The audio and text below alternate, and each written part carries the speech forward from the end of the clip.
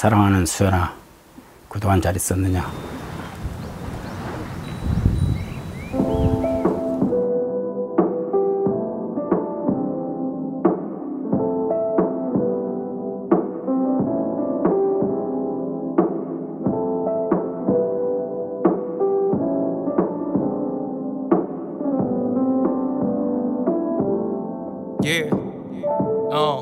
그 전날 아침 이별의 포옹과 그 흔한 인사가 허탄하게 마지막이 됐구나 이렇게 짧은 인생일 줄 알았으면 그 좋아하던 음악하게 그냥 놔뒀을 걸 2014년 4월하고도 16일은 입에도 담기 싫어 닫아버린 침묵임을 모든 게 그날 안에 쏟아 멈춰버렸어 한꺼번에 모든 불빛이 다 꺼져버렸어 선생님들도 다 괜찮은 건가? 카톡 왔어 뭐라고? 뭐래? 애들 괜찮냐고 선생님. 선생님, 선생님도 여쭤, 여쭤, 여쭤봐. 근데 선생님도 카톡을 지금 안 보고 있어. 내 아이의 희생으로 사회가 변한다고 생각하는 건 너무나 잔인하지만 그렇게 해서 나도 바뀔 수 있다면 더 억울할 것 같아. 숨쉬고 살 것 같아. 우린 아이들만 키웠고 보는 그대로 믿었어. 하지만 그날 이후 믿어왔던 것을 지웠어. 이 나란 1년 동안 배신감만을 안겼어. 아무리 피토해도 메아리는 없어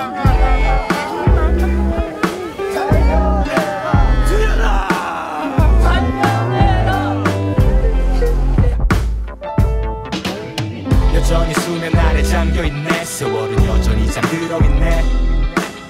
모든 게 숨겨지고 가려진 채 1년 전 그날에 다 갇혀있네.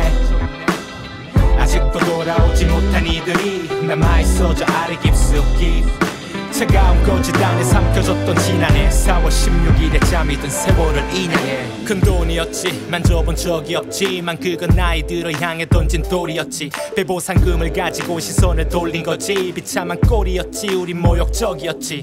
자식을 잃은 부모에게 무슨 돈을 줘? 어떻게 그런 소리를 쉽게 해? 미친 더러운 쇼. 단지 원하는 건 진상 규명과 재발 방지. 그리고 돌아오지 못한 아홉 명이 생각나지. 정치권은 돈 문제를 갖다 붙이고 언론은 눈치 보면서 그대로 맞장 구 치고 본질을 흐리며 입 막아버리고 사람들은 왜곡된 얘기를 받아들이고 함께 아파해줬던 1년 전 마음은 사라져간 대신 조롱으로 채워져가 자식은 가슴에다 묻는 거라고 모르면 닥치고 있어 시바로 소리하지 말고 자식을 가슴에 묻는다는 거는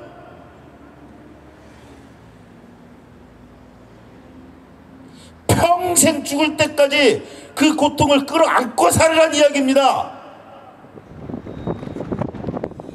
여전히 수면 아래 잠겨있네. 세월은 여전히 잠들어 있네.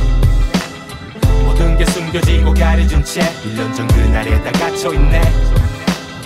아직도 돌아오지 못한 이들이 남아있어 저 아래 깊숙이 차가운 거짓 안에 삼켜졌던 지난해 4월 16일에 잠이 든 인양해 이제는 쉰 목소리가 조금은 피곤하게 들릴지도 모르겠지만 서로의 팔짱을 껴더 이상 침몰하지 않게 꽉 잡아줘. 이제는 우리의 지치고 쉰 목소리가 조금은 피곤하게 들릴지도 모르겠지만 서로의 팔짱을 껴더 이상 침몰하지 않게 꽉 잡아줘. 이 엄청난 참사로 인한 억울한 죽음이 너가 마지막이 될 수 있도록 너의 이름을 걸고 끝까지 밝혀주겠다. 그때까지 아빠를 믿고 그곳에서 기다려라. 지치고 쉰 목소리가 조금은 피곤하게 들릴지도 모르겠지만 서로의 팔짱을 껴더 이상 침몰하지 않게 꽉 잡아줘 더 이상 침몰하지 않게 꽉 잡아줘